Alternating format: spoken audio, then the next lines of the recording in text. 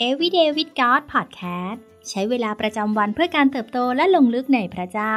ประจำวันจันทร์ที่ 25 ธันวาคม 2023 ซีรีส์คริสต์มาสแห่งความเชื่อ วันที่ 25 นี่เป็นเพียงจุดเริ่มต้นของเรื่องราว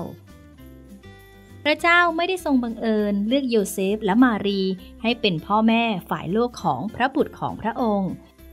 มีหลายสิ่งที่ทั้งคู่ต้องเสียสละแม้เผชิญความยากลำบาก แต่พวกเขายังสัตย์ซื่อและเชื่อฟังพระบัญชาของพระเจ้าเสมอ หลังจากที่เราได้เข้าใจถึงบริบทเบื้องหลัง ทั้งการเดินทางไกล การเกิดในรางหญ้า คนเลี้ยงแกะ นักปราชญ์และการเดินทางไกลไปยังอียิปต์ เมื่อเหตุการณ์ทั้งสิ้นจบลง เรื่องราวที่แท้จริงของวันคริสต์มาสก็เพิ่งจะเริ่มต้นขึ้น ครอบครัวที่เพิ่งให้กำเนิดบุตรชายนี้ เดินทางกลับบ้านที่นาซาเรตและพวกเขาก็ยังเชื่อฟังพระเจ้าต่อไป ดังที่ได้เชื่อฟังมาตลอดกระบวนการนี้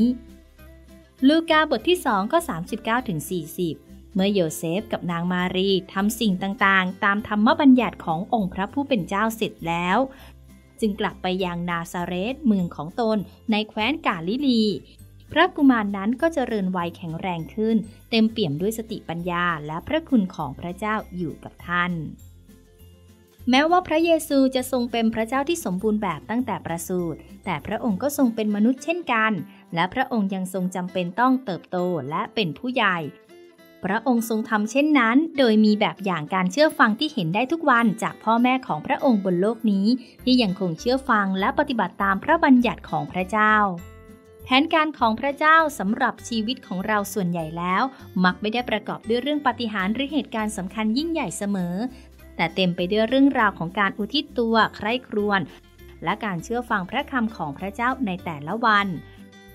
ดังที่เอลเลน สเตอร์จิสฮูเปอร์นักกวีหญิงชาวอเมริกันกล่าวว่า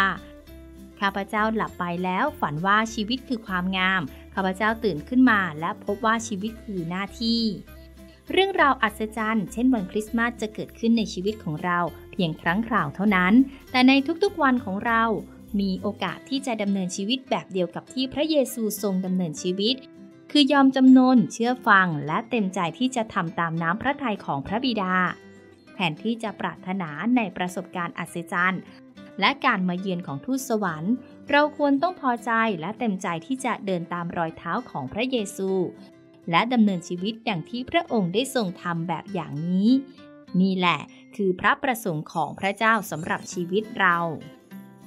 โรมบทที่ 8 ข้อ 28ถึง30 เรารู้ว่าเหตุการณ์ทุกอย่างร่วมกันก่อผลดีแก่คนที่รักพระเจ้า คือแก่คนทั้งหลายที่พระองค์ทรงเรียกตามพระประสงค์ของพระองค์ เพราะว่าทุกคนที่พระองค์ได้ทรงเลือกไว้แล้ว พระองค์ทรงกำหนดไว้ก่อนให้เป็นตามพระฉายาแห่งพระบุตรของพระองค์ เพื่อพระบุตรนั้นจะได้เป็นบุตรหัวปีท่ามกลางพี่น้องจำนวนมาก และบรรดาผู้ที่พระองค์ทรงกำหนดไว้ก่อนนั้น พระองค์ทรงเรียกมาด้วย และผู้ที่พระองค์ทรงเรียกมานั้น พระองค์ทรงให้เป็นผู้ชอบธรรม และผู้ที่พระองค์ทรงให้เป็นผู้ชอบธรรมนั้น พระองค์ก็ทรงให้มีศักดิ์ศรีด้วย หลักการสร้างสาวกสำหรับวันนี้ ความหมายที่แท้จริงของวันคริสต์มาสไม่ได้พบได้ภายในวันสำคัญเพียงวันเดียว แต่พบได้ในชีวิตแห่งการเชื่อฟังและรับใช้พระองค์ทุกๆวัน สิ่งที่ต้องใคร่ครวญในวันนี้สำหรับเราแล้วความหมายที่แท้จริงในวันคริสต์มาสคืออะไร เราจะระลึกถึงความหมายที่แท้จริงนี้ในทุกๆวันของชีวิตได้อย่างไร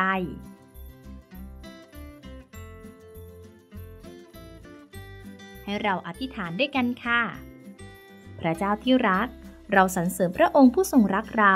จึงยอมประทานพระบุตรองค์เดียวของพระองค์ลงมาบังเกิด เพื่อเราจะเชื่อฟัง วางใจ